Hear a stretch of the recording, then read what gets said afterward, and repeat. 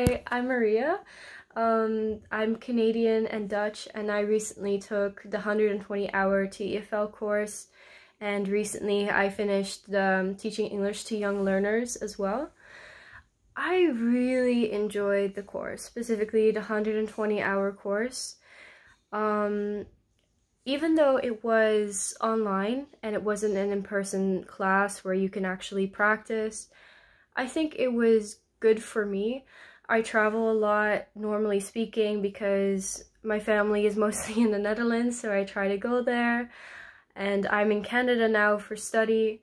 So it was a really great way for me to be able to stay focused, do my work, and I think it was great. The material was straightforward. It was not overly complicated or written in a difficult manner. Although I have to admit that I think the video aid was a good decision for me. I decided to take the 120 hour course with the video aid and it was perfect. I think everybody works at their own speed, but I know for me it was a good decision.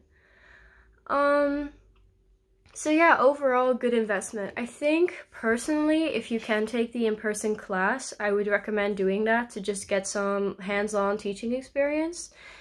But if you're like me and you travel a lot or maybe you're really busy, this is really a fabulous way to do so. I just finished the course and I applied for some jobs and you know already I have had a call back from one company and I have a mock session coming up. So it just goes to show that it's well respected. I hope that my opinion of the course helped you somewhat. So yeah, have a good day. Bye bye.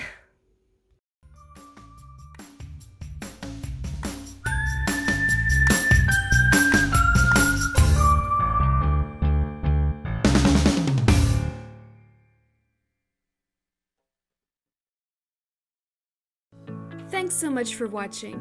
We are ITTT, the leading provider for TEFL and TESOL training courses. If you like this video, please subscribe by clicking that button down here and click on any of the videos here on the left for more interesting teaching tips for getting certified to teach English abroad and online.